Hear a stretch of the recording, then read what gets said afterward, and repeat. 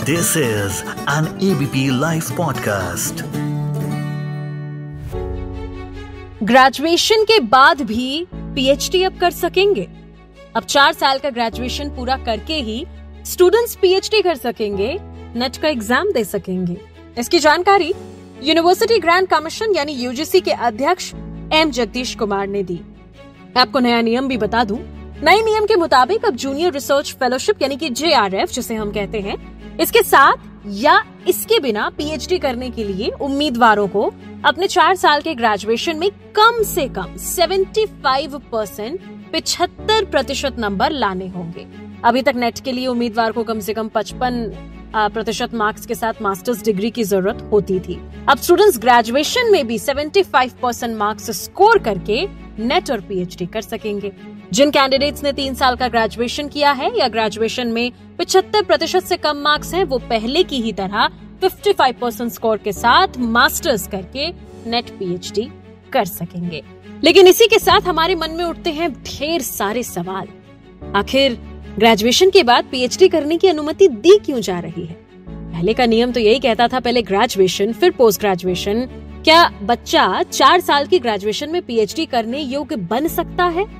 UGC का ये फैसला क्या फ़ायदेमंद साबित होगा या नुकसानदेह होगा बच्चों के भविष्य के लिए? अगर ऐसा है तो छात्र मास्टर्स डिग्री करेगा भी। क्या इससे एजुकेशन की क्वालिटी पर सवाल आएँगे? आइए इन तमाम ज़रूरी सवालों का जवाब जाने एफ़ में एबीपी लाइव पॉडकास्ट पर। मैं मानसी हूँ आपके साथ, हमारे साथ में जुड़ने जा रहे हैं professor S K Sinha, dean academic affairs in Chaudhary Ranbir Singh, university, Jind. Welcome to ABP live podcast sir सबसे पहला सवाल जो मैं आपसे करना चाहूँगी वो यही अगर आप ये बताएँ कि पहले ग्रेजुएशन फिर पोस्ट ग्रेजुएशन इसके बाद पीएचडी में प्रवेश मिलता था अभी तक तो यही चलता आ रहा था नियम। ऐसा क्यों था? क्या बच्चा चार साल की ग्रेजुएशन में पीएचडी करने योग्य बन सकता है? मैडम इसमें मुझे ये कहना है ग्रेजुएशन जो हम बता रहे हैं वैसे तो है ग्रेजुएशन लेकिन ये फोर ईयर ग्रेजुएशन है। फोर ईयर ग्रेजुएशन का मतलब है कि जनरली ग्रेजुएशन थ्री इयर्स में होता है। एक साल एक्स्ट्रा बच्चा पढ़ेगा और पढ़ने के बाद अगर हम वैसे देखें तो एक तरह से वो पीजी का एक साल का कोर्स वो कर चुका है। उसके बाद जब वो पीएचडी में इन्वॉल्व होगा हम्म। ये पहले भी नेशनल एजुकेशन पॉलिसी में कहा गया था कि ये प्रोविज़न था इसमें। इसका मतलब है कि जो पीएचडी दो साल का जनरली होता था उसमें सिक्स मंथ का हम कोर्स वर्क कराते थे। तो कुल मिला के वो कोर्स वर्क का जो समय है जो लगभग एक साल कोर्स वर्क में निकल जाता था और पीएचडी का मिनिमम रिक्वायरमेंट टाइम होता था दो साल। तो मुझे लगता है कि अगर चार साल में तीन साल के बाद जो बच्चे को हम ऑनर्स और रिसर्च का डिग्री देंगे तो वो बच्चा अगर वो पीएचडी में डायरेक्ट इनरोल्ड होगा तो पीएचडी का जो तीन साल का कोर्स होगा उसमें एक साल का कोर्स उनका पीजी लेवल का ही होगा। रिसर्च ओरिएंटेड और उसके बाद दो साल में वो अपना रिसर्च सबमिट करेगा। ये है। और मुझे लगता है कि इससे बच्चों का समय का नुकसान नहीं होगा। हम्म। बच्चा टाइम रहते ही अपनी पढ़ाई पूरा कर सकता है। दूसरी बात है हम्म। कि पहले भी कहा गया था कि तीन साल में अगर बच्चे को 75 परसेंट मार्क्स होगा तभी वो चौथे साल में एडमिट हो सकता है। जिसमें फाइव परसेंट का जो छूट दिया गया है वो S C S T OBC non creamy layer का दिव्यांग आर्थिक रूप से कमज़ोर वर्ग एवं अन्य श्रेणी के उम्मीदवार को हम्म। पाँच परसेंट का छूट दिया गया है और सेवेंटी फाइव परसेंट जो बच्चा चार साल का एवरेज लाता है इसका हम्म। मतलब बच्चे में उतनी वर्थ और गट है तो एक नई शुरुआत है और नई शुरुआत को हम सकारात्मक दृष्टिकोण से देख सकते हैं हम्म। इससे कहीं ना कहीं जो रिसर्च है वो अपडेट होगा जी जी। पीएचडी के बाद अक्सर छात्र जो हैं वो एकेडमिक्स को अपना प्रोफेशन बनाते हैं टीचिंग लाइन में जाते हैं। तो जिस तरह से हम पहले ज़्यादा पढ़ने के लिए और वक्त दे रहे थे अभी एक साल हम्म। कम हो जाएगा। इस एक साल में क्या बदलाव होते हैं क्या नहीं ये आपसे बेहतर कोई नहीं बता सकता क्योंकि आप उसी इंडस्ट्री हम्म। से हैं। अब हम्म। क्या इस तरह एजुकेशन की क्वालिटी पर सवाल आएँगे? नहीं मैडम ऐसा देखें कि इस पर एजुकेशन की पॉलिसी पर जो संवाद है ना वो तो नहीं आना चाहिए। क्योंकि मैंने पहले ही कहा था कि जो डिग्री की बात हम ग्रेजुएशन की बात करते हैं वो ये ग्रेजुएशन पहले तीन साल का था अब ये चार साल का है। तो कहीं नहीं कहीं एक साल तो हम ज़्यादा ही बच्चे को ग्रेजुएशन में ही पढ़ा दिए हैं और जो नेशनल एजुकेशन पॉलिसी का फ्रेमवर्क कहता है कि फोर्थ ईयर में बच्चों को research oriented honours oriented course कराना है। तो अगर वो कंटिन्यू पीएचडी में इन्वॉल्व होता है नेट करके थ्रू नेट से जाता है वो तो वो बच्चा मतलब कि जिसको कह सकते हैं कि अपडेटेड है वो। अब तुरंत वो एडमिशन ले रहा है पीएचडी में।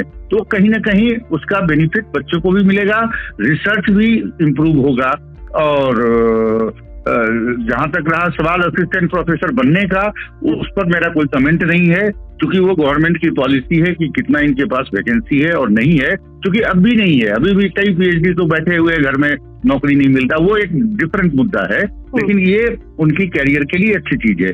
दूसरी बात यह है कि यूजीसी ने कहा है कि वो किसी भी रिसर्च एरिया में रिसर्च कर सकते हैं।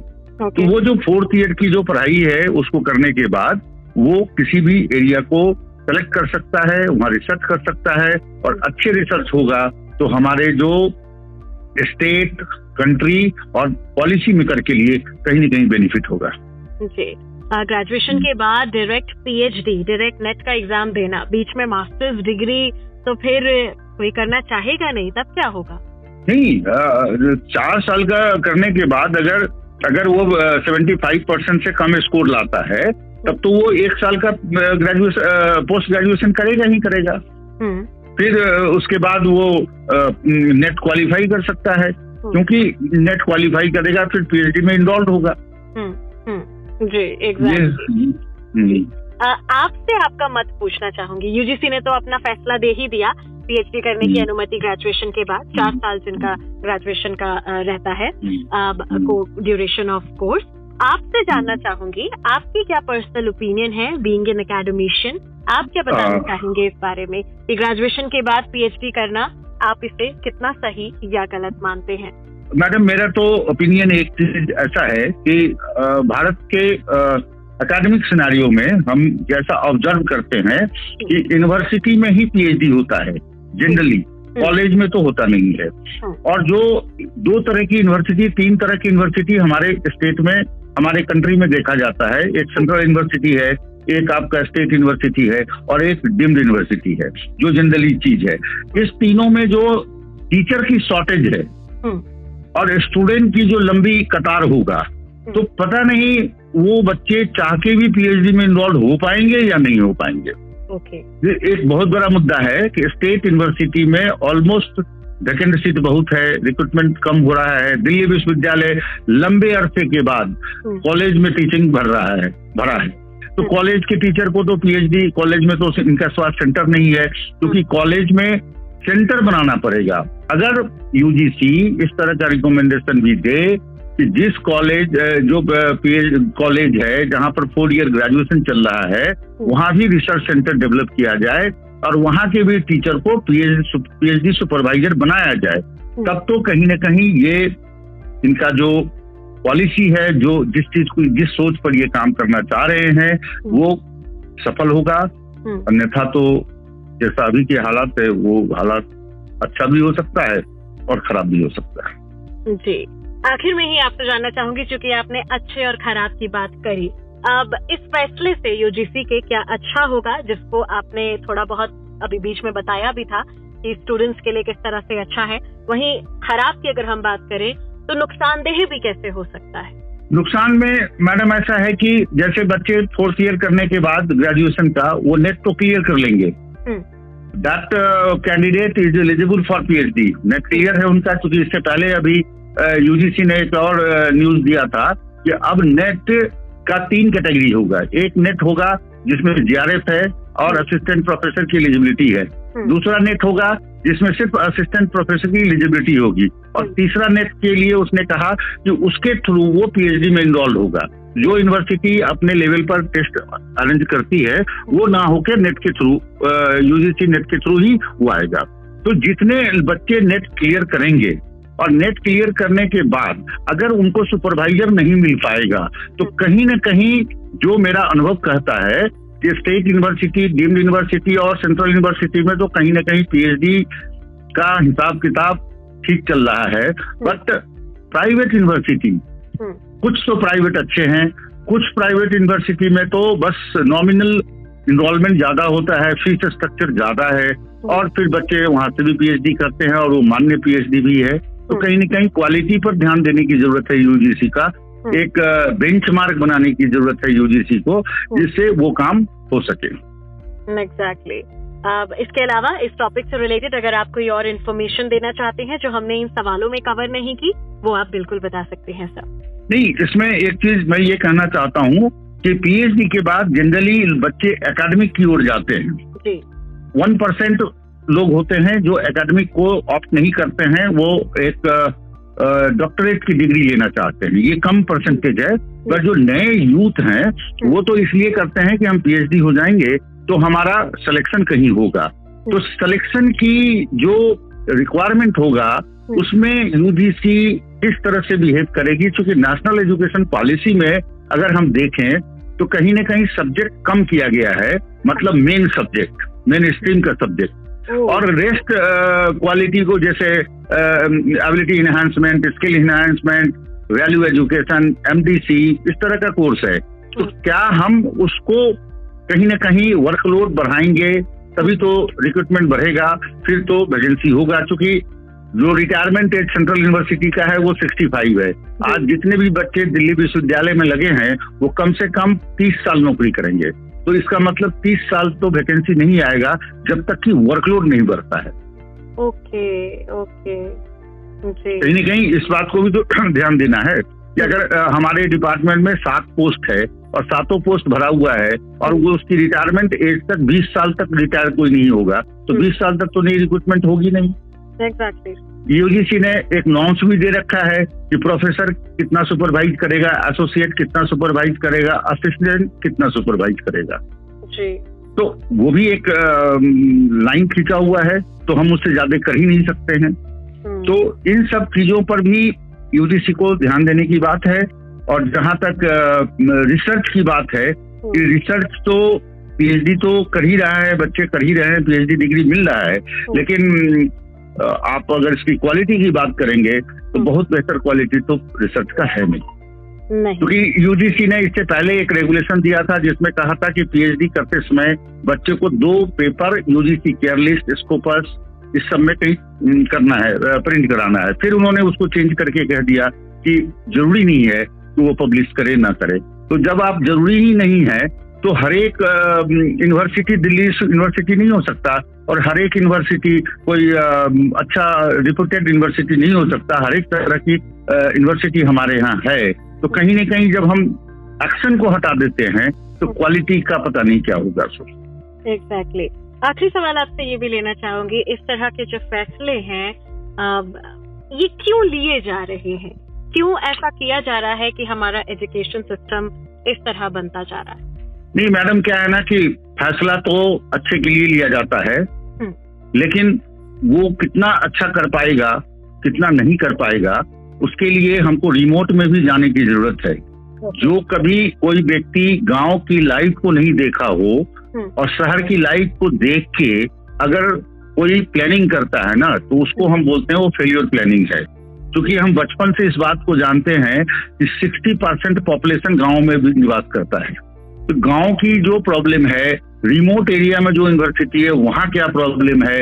इंफ्रास्ट्रक्चर की क्या प्रॉब्लम है? क्योंकि हमारे यहाँ जो एजुकेशन सिस्टम है ना वो तीन कंकरेंट लिस्ट और सेंट्रल लिस्ट में बटा हुआ है। एक ही एक यूनिवर्सिटी में टीचर 58 में रिटायर होता है कहीं 60 में रिटायर होता है कहीं 65 में होता है।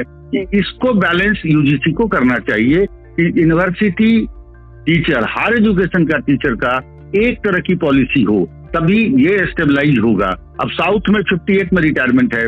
ओके सिक्सटी में कहीं और रिटायरमेंट है। सिक्सटी फाइव सेंट्रल यूनिवर्सिटी में रिटायरमेंट है। तो हम्म। एक ही हायर एजुकेशन इंस्टीट्यूशन है और तीन और चार तरह का आप नियम बना रखे हैं। इस पर यूजीसी को ध्यान देना चाहिए था। इस पर बात भी करना चाहिए था।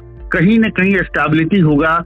लंबे समय तक सीनियर टीचर की कमी होते जा रही है। क्योंकि रिटायरमेंट होता जा रहा है रिक्रूटमेंट उस हिसाब से हो नहीं रहा है तो फिर जूनियर टीचर पर बेस्ड है तो क्वालिटी क्या होगा हम्म। ये आप खुद समझ सकते हैं। ऑब्वियसली रिसर्च जो कि एक बड़ी ही जिम्मेदार चीज़ होती है उसकी क्वालिटी अल्टीमेटली गिरेगी ही गिरेगी अगर सीनियर प्रोफेसर नहीं होंगे डेफिनेटली एक चीज़ और बता दूँ इसमें यूजीसी ने अभी हाल ही में सुपरवाइजर का सुपरवाइज करने का वर्कलोड खत्म किया है। तो जब हम बच्चे पर ध्यान ही नहीं देंगे वर्कलोड ही नहीं मानेंगे तो extra workload as a human being कोई आदमी एक्स्ट्रा एफर्ट नहीं करना चाहता। क्योंकि तो उसको पीएचडी तो करना नहीं है बच्चों को करना है। आप पहले था कि सुपरवाइजर को दो दो आवर का या वन आवर का वर्कलोड में कमी होता था कि आप बच्चों को सुपरवाइज कर रहे हैं। तो उसकी भी टाइम आप नहीं दे रहे हैं तो केवल ये नियम बनाने से क्वालिटी बढ़ेगा ऐसा मेरा मानना नहीं है। Exactly sir thank you so much हमारे साथ जुड़ने के लिए एबीपी लाइव पॉडकास्ट पर मैं मानसी हूँ आपके साथ।